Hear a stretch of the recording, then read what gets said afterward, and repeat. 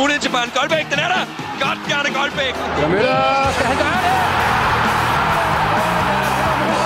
Slipper afsted med det alligevel! Hold da helt op for et mål!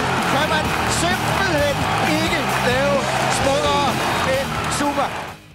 Jeg mener, jeg kan huske tilbage, af, da jeg kom i 97, så det første kamp hjemme mod Brøndby, der scorede jeg et godt mål, som jeg lagde op i, i den ene side, helt udsiden. Det kan jeg huske.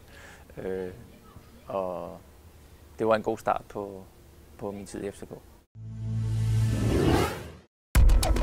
Programmet præsenteres af Unibet, sportsbetting på mobilen.